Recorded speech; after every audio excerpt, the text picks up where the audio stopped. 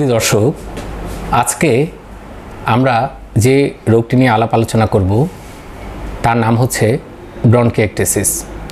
নামটা একটু খটমটে শোনালেও এই রোগের বিষয়ে আপনারা জানার পর অনেকটাই সহজ হয়ে যাবে আমি আশা করছি। তো ব্রনকিয়েকটেসিস আসলে কী জিনিস? ব্রনকিয়েকটেসিস হচ্ছে শ্বাসনালীর একটি রোগ, যে রোগে শ্বাসনালীর মধ্যে যে টিউবগুলো আছে, সেগুলো বন্ধ হয়ে যায় এবং শ্বাসনালী বড় হয়ে যায়। যার কারণে এই শ্বাসনালীর মধ্যে দিয়ে ব্যাকটেরিয়া এবং বিমান, বিভিন্ন জীবাণু খুব সহজে পাস করতে পারে এবং সেখানে ব্যাকটেরিয়াল সংক্রমণ হয়, যার কারণে রোগীর শ্বাস প্রশ্বাসে সমস্যা হয় এবং এই রোগী দীর্ঘমেয়াদী একটা শ্বাস রোগের মধ্যে দিয়ে যেতে থাকে। তো এই রোগটি চিকিৎসা করালে রোগী কিন্তু ভালো থাকে। যার কারণে আমাদের এই রোগটি সম্বন্ধে বিশদভাবে জানা উচিত এবং রোগটির চিকিৎসা করালে যে রোগটি থেকে ভালো থাকা যায় বা মুক্ত থাকা যায় সেটা আমাদেরকে জানতে হবে। এটা জেনে থাকবেন, যদি আমরা ব্রনকেকটেসিস রোগের চিকিৎসা ঠিকমতো না করায় একটা গবেষণা করে দেখা গেছে, সেখানে প্রায় বিশ শতাংশ রোগী পাঁচ বছরের মধ্যে এই এই রোগের কারণেই মৃত্যুবরণ করতে পারে। এবং আরও গবেষণা করে দেখা গেছে যে পুরুষের চেয়ে নারীরা এই রোগে বেশি আক্রান্ত হয়। এই ব্রনকেকটেসিস রোগের বিভিন্ন কারণ আছে। তো যদি কারণগুলো আমরা বিশ্লেষণ করি, তাহলে দেখতে পাই, কিছু কারণ আছে, জন্মগত কারণ কিছু অর্জিত কারণ। জন্মগত কারণের মধ্যে আমরা যে কমনলি যেটা পেয়ে থাকি, সেটা হচ্ছে যেমন সিস্টিক ফাইব্রোসিস নামে একটা রোগ আছে, যেটা নাকি ছেলে মেয়ে উভয়েরই একইভাবে হতে পারে এবং এটি অটোজমার রিসেসিভ ডিজিজ বলে মেডিকেলের ভাষায়। এই অটোজমার রিসেসিভ ডিজিজে পেশেন্টের ছোটোবেলা থেকেই ব্রনকিয়েকটেসিস রোগের লক্ষণগুলো প্রকাশ পেতে থাকে। এছাড়াও আরও কিছু রোগ আছে, যেমন ইমোটাইল সিলিয়া সিনড্রোম, সেটাও জন্মগত রোগ বা কোনো রোগী যদি জন্মগতভাবে ইমিউন ডেফিসিয়েন্সি থাকে, তাদেরও এই ব্রনকিয়েকটেসিস রোগ হতে পারে। আর অর্জিত কারণের মধ্যে যে কারণগুলো প্রধান প্রধান যে কারণ রয়েছে, তার মধ্যে আমরা দেখতে পাই যক্ষা বিশেষ করে যক্ষা পরবর্তীতে অনেক রোগী আমাদের কাছে আসে ব্রনকেকটেসিস রোগে ভুগতে থাকে। এটাকে আমরা পোস্ট টিবি ব্রনকেকটেসিস নামেও বলে থাকি। এছাড়াও কোনো বাচ্চা যদি ছোটোবেলা থেকে ফুসফুসের সংক্রমণে বারবার রিপিটেডলি যেটা বলে, ভুগতে থাকে, তাদেরও ভবিষ্যতে গিয়ে ব্রনকিয়েকটেসিস রোগ হতে পারে। এছাড়াও যদি শ্বাসনালীর যে আমরা টিউব বলছি, তার যদি সামনে কোনো টিউমার অথবা কোনো ফরেন বডি থাকে তাহলে সেক্ষেত্রেও ব্রনকেকটেসিস রোগ নিয়ে আমাদের কাছে প্রেজেন্ট করতে পারে। আবার কিছু সমস্যা আছে, যেমন আমরা বলি ক্রনিক অবস্ট্রাকটিভ পালমোনারি ডিজিজ, যেটা সিওপিডি বলে সংক্ষেপে। এই রোগেও দেখা যায় দীর্ঘমেয়াদী রোগী অ্যান্টিবায়োটিক ব্যবহার করছে, স্টেরয়েড নিচ্ছে এক সময় গিয়ে ব্রনকেক্সটেসিসে রূপান্তর নিতে, হতে পারে। তো এই কারণে আরও আরও একটা বিষয় আছে, যেমন অ্যাজমা। দীর্ঘমেয়াদী যারা অ্যাজমা রোগে ভুগছেন তাদের, তাদেরও অ্যাসপারজিলামা বলে একটা রোগ আছে ব্রনকোপালমোনারি অ্যাসপারজিলোসিস যেটা, সেক্ষেত্রেও ব্রনকোএকটেসিস রোগের মতো লক্ষণ নিয়ে আমাদের কাছে আসতে পারে। আরও কিছু রোগ আছে যেমন বাত রোগ যেটা বলি আমরা, এর মধ্যে বাত রোগের মধ্যে আছে যেমন রিম্যাটয়েড আর্থ্রাইটিস বা অ্যানকাইলোজিস স্পন্ডাইলাইটিস এই রোগেও ফুসফুসের যে প্রকাশ, সেটা ব্রনকেকটেসিস দিয়েও হতে পারে। তাহলে আমরা জানলাম যে ব্রনকেকটেসিসের জন্মগত এবং অর্জিত অনেকগুলো কারণই রয়েছে। এরপর ব্রনকেকটেসিস রোগ রোগের যে উপসর্গ সেটা নিয়ে একটু আলোচনা করি। এবং এই উপসর্গগুলো যদি আপনার মধ্যে থাকে, তাহলে আপনি ডাক্তারের শরণাপন্ন হবেন। যেমন, রোগে কী নিয়ে আসতে পারে? দীর্ঘমেয়াদী কাশি এবং কাশির সাথে কফ, প্রচুর কফ বের হয়, যেটাকে সাধারণ ভাষায় কফ বলে, কিন্তু আমরা ডাক্তারি ভাষায় এটাকে স্পুটাম বলি। এই এই কফের বিভিন্ন রকমের কালার হতে পারে, যেমন কেউ বলবে যে গাঢ় কেউ বলবে হলুদ, কেউ সবুজাবো বিভিন্ন রকমের রঙের কফ নিয়ে প্রেজেন্ট করতে পারে এবং এই কফ প্রচুর পরিমাণে সকালে ঘুম থেকে ওঠার পর রোগী প্রচুর পরিমাণে কফ বের হয় কাশির সাথে। তারপর দীর্ঘমেয়াদী জ্বর। রোগীর সব সময় একটা জ্বর অনুভূতি থাকে। শরীরে সব সময় জ্বর অনুভূতি থাকে এবং ওয়েট লস হতে পারে, রোগীর ওজন কমে যেতে পারে।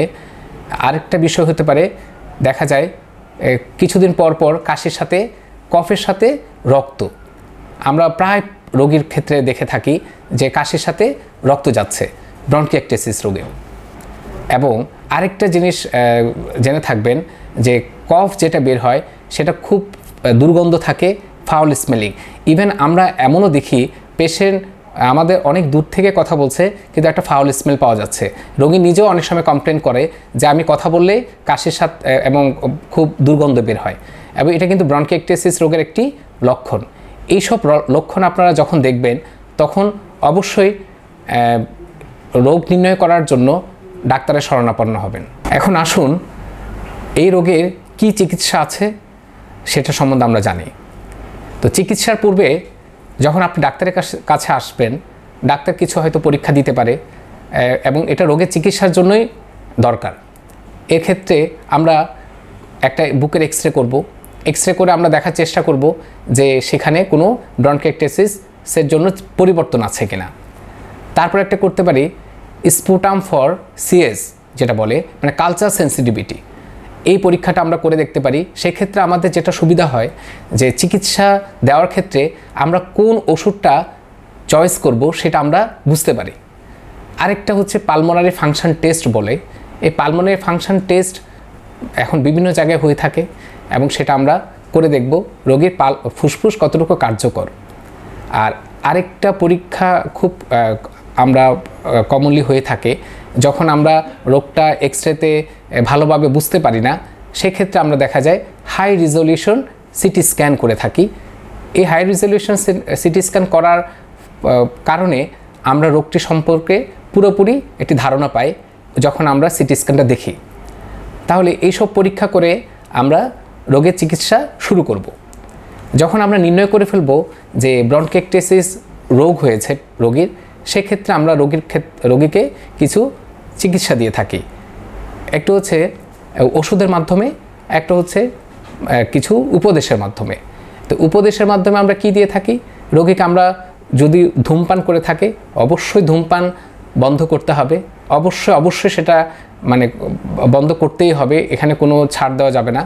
তারপর রোগীকে আমরা প্রচুর পুষ্টি, শুধু ওষুধের মাধ্যমে চিকিৎসা বাদে যে চিকিৎসাগুলো দিচ্ছি, তার মধ্যে আরেকটা আছে ফিজিওথেরাপি খুবই গুরুত্বপূর্ণ যেটাকে মেডিকেলের ভাষায় বলে পোস্চুরাল ড্রেনেজ এই পোস্টুরাল ড্রেনেজের মাধ্যমে আমরা রোগীকে কিন্তু অনেক আরাম দিতে পারি। আরেকটা হচ্ছে ভ্যাকসিন যে কিছু ভ্যাকসিন আমরা কমন কিছু ব্যাকটেরিয়া এই রোগে ফুসফুসের মধ্যে বাসা বাঁধে ব্রনকাইটিস রোগীদের আমরা প্রায় সময় কিছু ভ্যাকসিন দিতে বলি, যেমন ইনফ্লুয়েঞ্জা ভ্যাকসিন তারপর নিউমোনিয়ার আলাদা কিছু ভ্যাকসিন আছে, যেমন নিউমোকক্কাল যেটা বলি। সেটার ভ্যাকসিনেশনের প্রোগ্রামের আওতায় আনতে পারলে অনেকটুকুই ভালো থাকবে। আরেকটা বিষয় হচ্ছে ব্রনকাইটিসিস রোগীদের কিছু নিয়মিত ব্যায়াম করতে হয়। সেটা ফুসফুসের ব্যায়াম হোক অথবা আমরা শারীরিক যে বসে হোক, দাঁড়িয়ে হোক, আমরা যে ছোটোবেলায় যে পিটি করতাম, এ টাইপের মানে ছোট ছোট ব্যায়ামগুলো যদি করি অনেক উপকার পাওয়া যাবে। আর এবার আমরা আসি ব্রনকেকটিসিস রোগের মেডিকেল ট্রিটমেন্ট যেটা আমরা ওষুধের মাধ্যমে করে থাকি, এর মধ্যে আমরা কমনলি যেটা দিয়ে থাকি ব্রনকোডাইলেটর কিছু ব্রনকোডাইলেটর চিকিৎসা আছে, সেটা ইনহেলারের মাধ্যমে হোক, কিছু ওষুধের মাধ্যমে হোক দিয়ে থাকি। আরেকটা হচ্ছে অ্যান্টিবায়োটিক ট্রিটমেন্ট যদি রোগী অনেক সময় খুব বেশি এক্সাজারবেশন যেটা বলে, যে রোগীর রোগ খুব বেশি পরিমাণ প্রকাশ হয়, যেমন জ্বর, কাশি, কাশির সাথে প্রচুর পরিমাণে কফ যাওয়া রক্ত যাওয়া, তখন আমরা হয়তো ইনজেকশনের মাধ্যমে অথবা ওরাল ফর্মে কিছু অ্যান্টিবায়োটিক সাজেস্ট করে থাকি। ইভেন ব্রনকাইটিসিস রোগের ক্ষেত্রে কিছু কিছু রোগীকে আমরা দীর্ঘমেয়াদী অ্যান্টিবায়োটিকের পরামর্শ দিয়ে থাকি। এছাড়াও যখন যদি আমরা অক্সিজেন পরিমাণ ঠিক আছে কিনা এটা পালস অক্সিমিটার দিয়ে পরীক্ষা করে দেখতে পারি, যদি অক্সিজেন কমে যায়, সেক্ষেত্রে আমরা রোগীকে অক্সিজেন চিকিৎসা দিতে পারি। অনেক সময় আমরা নিবুলাইজেশনের মাধ্যমে রোগীকে একটু আরাম দিতে পারি। এছাড়াও কখনো কখনো স্টেরয়েড দিয়েও চিকিৎসা করতে হয়। যদি রক্ত যায়, সেক্ষেত্রে রক্ত বন্ধ হওয়ার জন্য আমরা কিছু ওষুধ সাজেস্ট করে থাকি। ব্রনকেকটেসিস রোগের সার্জিক্যাল কিছু চিকিৎসা আছে। এটা আমাদের জেনে রাখা ভালো হবে যে অনেক সময় দেখা যায় মেডিকেল ট্রিটমেন্টও ফেল হয়। তো সেক্ষেত্রে আমরা কি করতে পারি? আমরা অ্যাসেস করে দেখি যে রোগীর ফুসফুসের কতটুকু অংশ ইনভলভ আছে ব্রনকেকটেসিস রোগে। ব্রনকেকটেসিস কিন্তু জেনারেলাইজড দুইটা ফুসফুসে হতে পারে, আবার অনেক সময় দেখা যায় লোকালাইজড হতে পারে। যদি লোকালাইজড হয় অথবা একটা নির্দিষ্ট পোর্শন কার্যকর ফুসফুস থাকে এবং বাকি পোর্শন যদি ব্রনকেকটেসিস রোগের কারণে যদি কম কাজ করে বা কাজ না করে সেই ক্ষেত্রে আমরা সাজেশন দিয়ে থাকি রোগীকে যে সার্জারির মাধ্যমে ওই পোর্শনটুকু যেন কেটে ফেলে দেওয়া হয়। যদি কেটে ফেলে দেওয়া হয়, তখন দেখা যায় বাকি যে, তার সুস্থ যে ফুসফুসটি রয়েছে, সেটি আরও বেশি ভালোভাবে কাজ করতে পারে এবং ফুসফুসের পরবর্তীতে সংক্রমণের হার অনেকটুকু কমে আসে। এক্ষেত্রে আমরা অবশ্যই সার্জারির অ্যাডভাইস করে থাকি। এছাড়াও যখন কোনো ব্রনকেকটিসিস রোগী বারবার তার রক্ত যাওয়ার কমপ্লেন আমাদের কাছে করতে থাকে, তখন আমরা ওনাকে আরেকটা পরামর্শ দিয়ে থাকি ব্রনকো ব্রনক্যাল আর্টারি অ্যাম্বোলাইজেশন সেটাও কিন্তু একটা সার্জিক্যাল প্রসিডিউরের মতোই। তো এই সব চিকিৎসা যদি আমরা নিয়ে থাকি, তাহলে ব্রনকিয়েকটেসিস থেকে ইনশাল্লাহ আমরা মুক্ত থাকব। ব্রনকেকটেসিস রোগীকে আমরা সবসময় পরামর্শ দেব এটাই যে প্রচুর পুষ্টিকর খাবার সবুজ শাকসবজি, ফলমূল এবং প্রোটিন সমৃদ্ধ খাবার। অবশ্যই প্রোটিন সমৃদ্ধ খাবার আমরা সাজেশন করব, কারণ প্রোটিন সমৃদ্ধ খাবার রোগীর রোগ প্রতিরোধ ক্ষমতাকে যেমন বাড়িয়ে দেয় তারপর রোগীর যে, আমরা ব্রনকেকটিসিস দীর্ঘমেয়াদী যেহেতু রোগ, আমরা জানি শরীর স্বাস্থ্য অনেকটুকু ভেঙে যায়, ভেঙে পড়ে। যার কারণে প্রোটিন সমৃদ্ধ খাবার এই দেহ গঠনটাকে দেহ গঠনে সাহায্য করবে। এই কারণে ব্রনকেকটিসিস রোগীকে আমরা প্রোটিন সমৃদ্ধ খাবার একটু বেশি করে খেতে বলব।